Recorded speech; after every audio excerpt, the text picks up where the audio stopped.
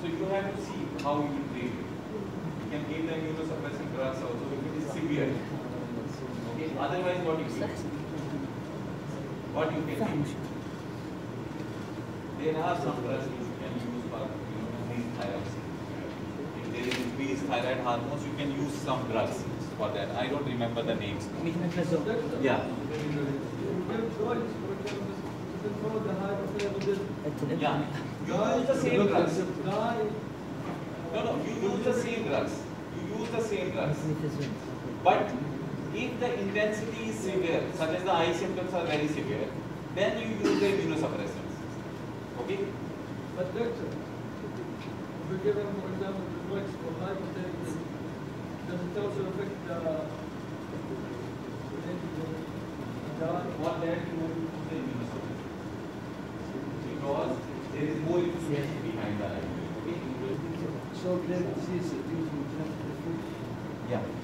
There is a genetic defect which is associated with actually uh, DR3 and B8 and it leads to something wrong with the suppressor T cells. Okay.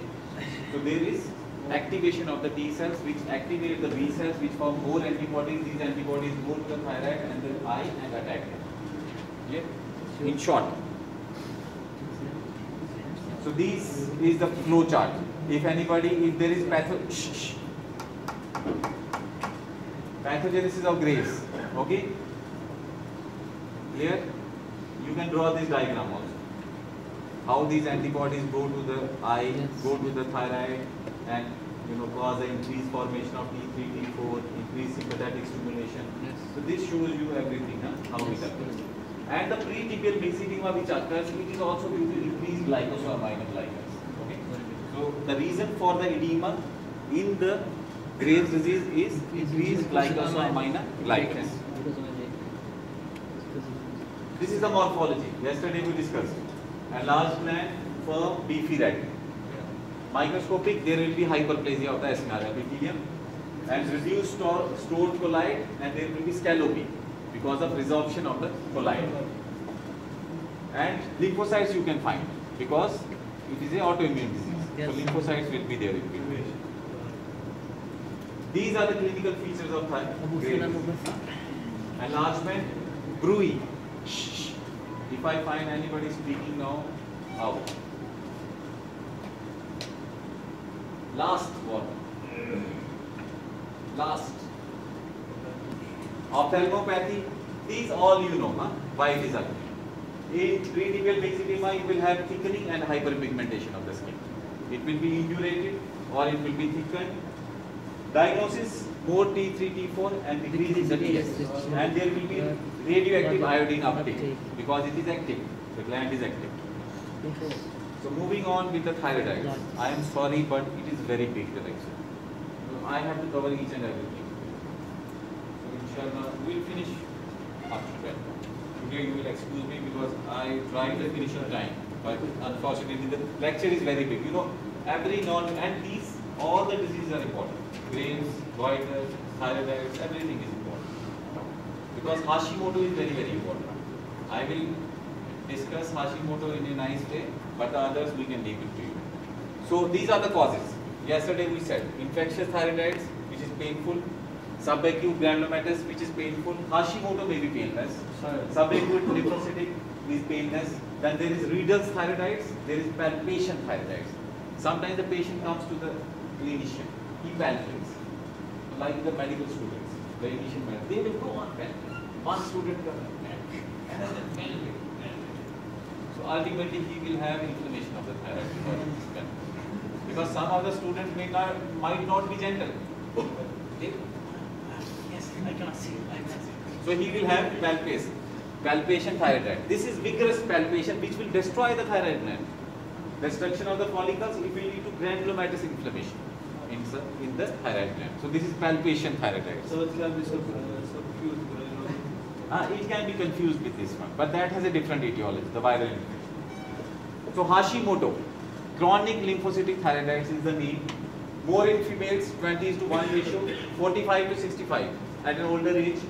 It is painless enlargement And initially there might be hyperthyroidism due to destruction of the follicles and release of the stored colloid, which is also known as Hashitoxicosis. It will be followed by the hypothyroidism. Okay, only transient hyperthyroidism will be there. So this is the commonest cause in the areas where iodine is sufficient. So if I say the question is like this, what is the commonest cause in iodine sufficient areas? What is the commonest cause of hypothyroidism? In iodine sufficient areas, it is the Hashimoto thyroiditis. Commonest cause of hypothyroidism is iodine deficiency. Okay. If I say iodine sufficient areas, what is the commonest cause? It is the Hashimoto thyroiditis. And complication is lymphoma. B cell lymphoma can develop because too many lymphocytes are coming, they can go out of control and form a lymphoma. So complication also you should remember. These are very important things, very important. Mind you, this line, transient Hashimotoxicosis, complication lymphoma, very important. So why this is occurring, Hashimoto thyroid? This is autoimmunity. This is again due to autoimmune destruction of the thyroid cells. Again the CD4 helper cells which are there, they are involved. And they will lead to the formation of autoantibodies. Okay, what are the autoantibodies we will discuss? Genetic factor again, DR3 and DR5. DR3 in Graves also. Graves. Here also. So in the families you can find one patient having Graves, another having Hashimoto. So this is the connections. And they can be associated with other autoimmune diseases also. So this is the diagram. So there is something wrong with this T helper cell. Now it is going to recognize the thyroid and react against this. How it reacts? It reacts by three things. Either it will cause increased formation of interferon gamma, which activates the macrophages, which can directly kill the cells, isn't it? Secrete the enzymes and kill the cells. Or it activates the CD8 cell, which is cytotoxic cell, which can also kill the cells through. Fas ligand, Fas ligand, Fas and Fas ligand. Uh, direct killing of the cell. Fas and Fas ligand is attached and they undergo apoptosis. So this is another mechanism or they cause B cell stimulation.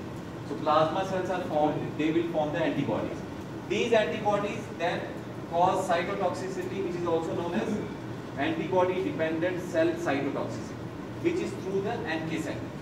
This is another mechanism. So there is autoimmunity. The first cell which will be involved is the T helper cell. So this T helper cell will stimulate the CD8 cell or cause the formation of the antibodies or stimulate the macrophage. All these things will lead to destruction of the gland. This is how the pathogenesis of Hashimoto is. Clear? Because this is important to understand. So helper cell first. Again helper cell in Graves disease. But the antibodies are different. Here in the Graves disease they are different. They are stimulating antibodies. There here they are destroying antibodies. So try to understand. Huh? They are destroying. So finish the Hashimoto.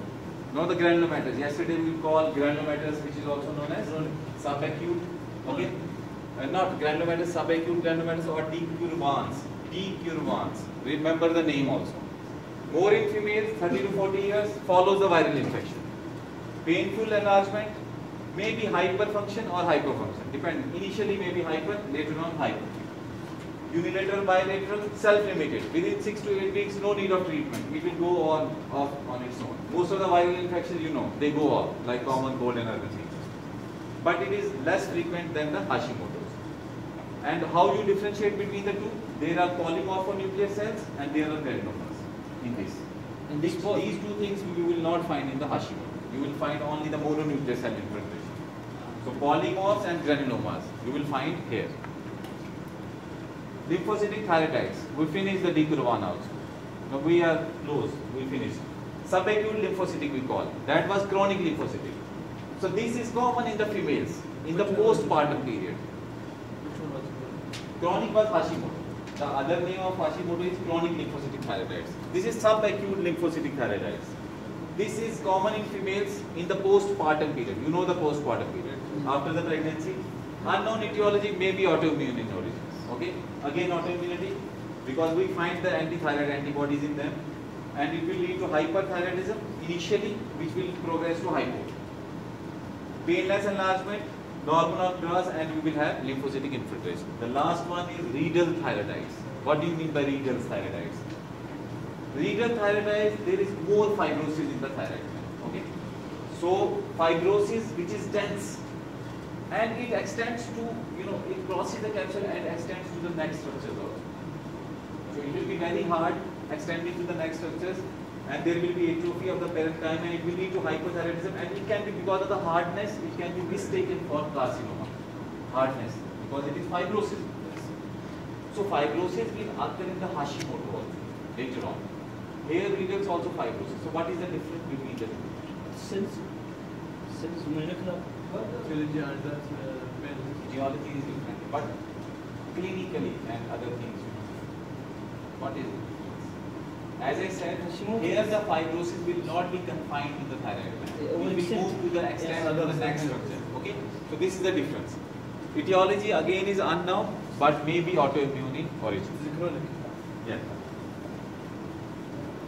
So this finishes. Thank you so much for giving me extra time.